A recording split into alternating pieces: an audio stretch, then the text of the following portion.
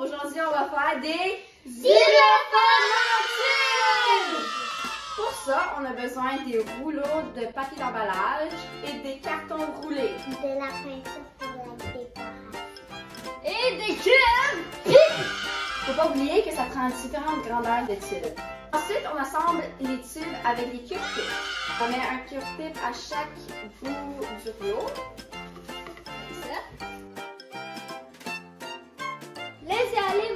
すぎて